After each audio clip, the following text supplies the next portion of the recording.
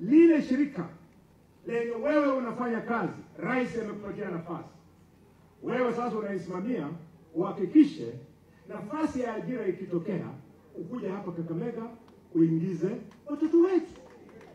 Sasa wewe koshosikia wewe kutoka Matungu, wewe ni director wa kampuni kubwa ya NTSC, huko nafasi za magarani ni mingi, ajiri watoto wa Kakamega, wache kulielia kwa matanga.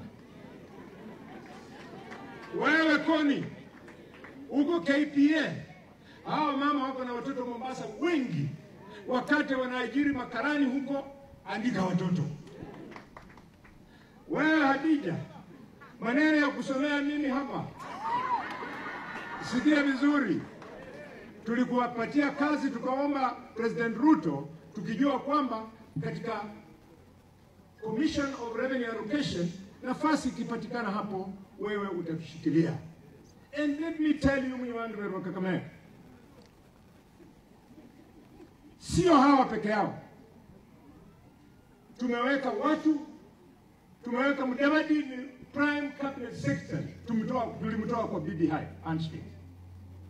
Tumeweka Wetangula ni speaker, tulimtoa kwa Ford Kenya akiwa kwa BBI aliingia. Tumeweka Ababu na Mwamba ni waziri. Hata hapa Lugari msichana Chikai anatoka hapa ni waziri.